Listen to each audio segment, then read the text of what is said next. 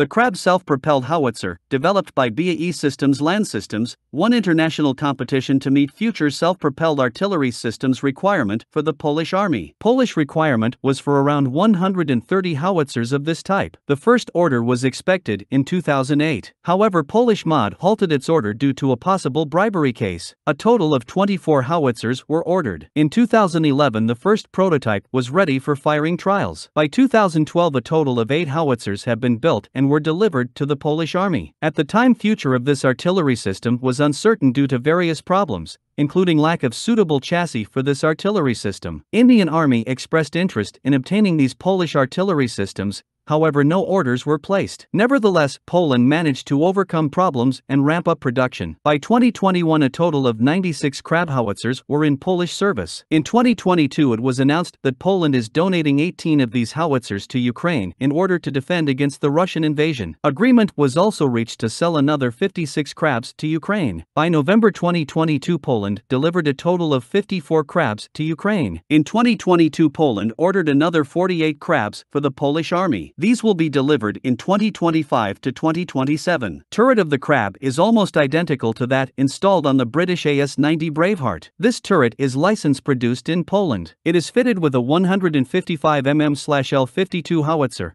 which is compatible with all standard NATO 155mm ammunition. The Krab has an automatic shell loading system and modular charge system. Maximum range of fire is 30 km with standard HEFRAG shell and 40 km with rocket-assisted shell. A total of 60 shells are carried. It is also compatible with precision-guided munitions. Secondary armament consists of a roof-mounted 12.7mm machine gun. The Krab is fitted with a Polish Topaz fire control system, intercom and radios. This artillery system has a Danish muzzle reference system, which tracks outgoing shells and adjusts the next shot. Hull and turret of this self-propelled howitzer has an all-welded steel construction. Armor provides protection against small arms fire and artillery shell splinters. The Krab is fitted with NBC protection and automatic fire suppression systems. Early production Krab howitzers used a modified chassis of the Polish PT-91 Twardy main battle tank. It was powered by AS-12U diesel engine, developing 850 horsepower. These howitzers could reach a top speed of 60 kilometers per hour. These systems were fitted with a self-entrenching blade and could prepare defensive emplacements on their own. However, since 2012 production of the S-12U engine, that powered the PT-91 tank and Krab howitzer, stopped. A German MTU-881 K500 engine was proposed as an alternative. However, it would not fit in the Krab's hull without substantial modifications. In 2013 it was reported that the Krab will use chassis of the Turkish T-155 Fırtına self-propelled howitzer. However, in 2014 it was reported that Poland plans to acquire 120 tracked chassis of the South Korean K9 self-propelled howitzer. Actually, the Turkish T-155 is a license-produced version version of the South Korean K9. Most likely that it appeared more reasonable for Poland to import chassis directly from South Korea rather than from Turkey. First new hulls for the Krab were completed in 2015. It was planned that 36 units will be produced in South Korea and the rest 84 in Poland. A battery of Krab artillery system consists of six Krab self-propelled howitzers, two ammunition resupply vehicles,